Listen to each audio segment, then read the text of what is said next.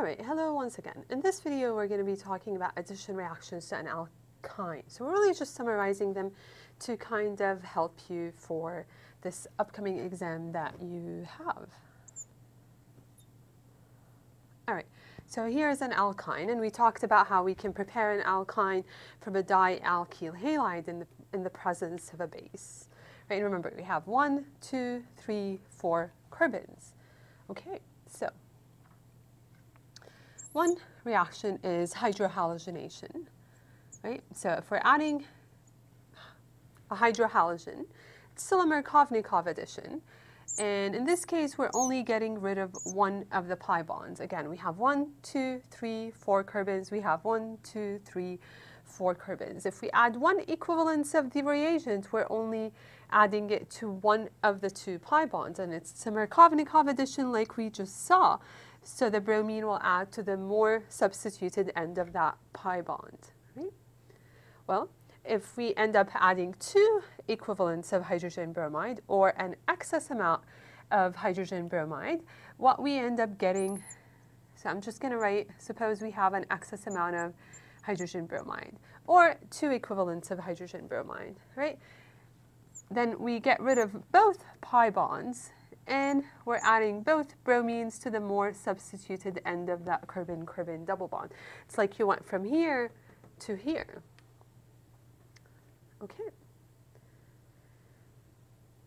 So that's hydrohalogenation. Again, this could say one equivalence, this could say two equivalents. So let's just now, this could be two equivalents, still the same thing. This could have said one equivalent, still the same thing right? So keep those in mind. So that's hydrohalogenation. Now, what about halogenation reaction, right? In halogenation, again, we could be using one equivalence or two equivalents. And if it doesn't say one equivalence, we do assume that it is one equivalence. So one of the pi bonds are used up, and then we have two bromines across one of the two pi bonds. Right? If we go in and we add an excess amount of bromine, right? So suppose we have an excess amount of bromine, of halogenation, then we get rid of that pi bond, and then the reaction will happen once again, right? So then we have another bromine and another bromine. Okay, so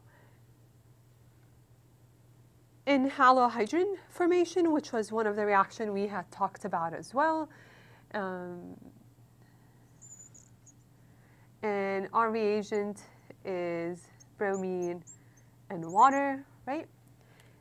And if we're only adding one equivalence, then we're only getting rid of one of the pi bonds, and then water or amine hydroxide adds to the more substituted end, and bromine adds to the less substituted end of that carbon-carbon double bond. Okay.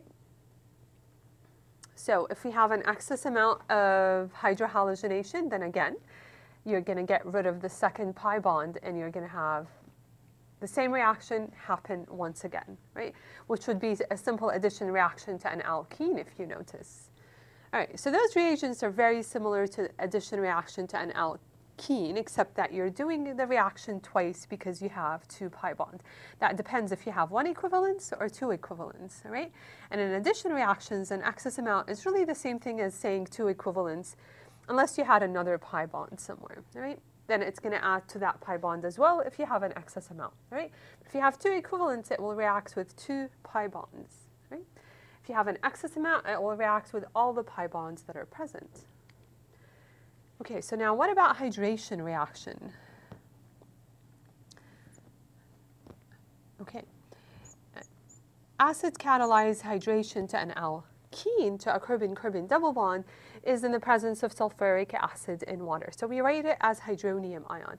But for an alkyne, the reaction is too slow, just as an acid catalyzed reaction, so we end up adding um, mercury sulfate, right? As a catalyst to speed up the reaction. Right? And one, two, three, four. One, two, three, four. recall it's a Markovnikov addition, right? Where water typically adds to the more substituted end of that carbon-carbon double bond.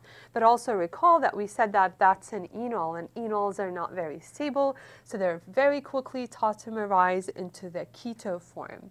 So instead of adding another hydroxide, what happens is that we end up forming a keto group, right? Acids catalyze hydration to an alkyne. The hint is perhaps that there is mercury sulfate and it will form an enol, but the final product is really the keto because the enol will very quickly tautomerize into a keto group.